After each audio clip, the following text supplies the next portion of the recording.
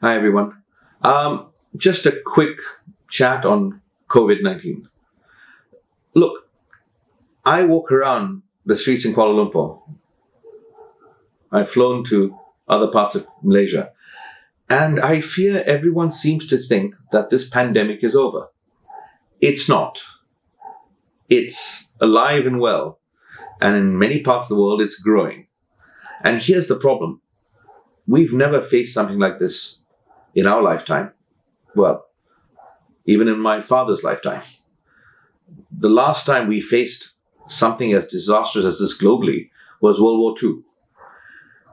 And this enemy, this enemy is versatile, it's, it's strong, it's deceptive, and it keeps changing. And we don't know what it'll change into. So I'd ask all of you, please, please, don't treat this pandemic as if it's over, that we can all get back to normality. There will be, there will never again be normality. We, we've heard this throwaway line called the new normal. Well, it's not a throwaway line. Firstly, we don't know what the new normal is because things are changing all the time.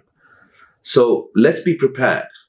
Let's not assume things are just going to get back to the way it was and we can all act as if things are hunky dory and uh, we can start our economic activities going again. No, there's no question that we need economic activity. We need to, to start living some sort of normal economic life. But if we are not careful, we can make things much worse.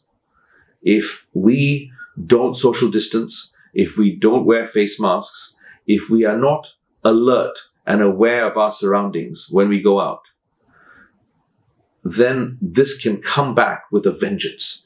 And if it comes back, the effect on the economy, the impact on the economy and all of us will be much worse.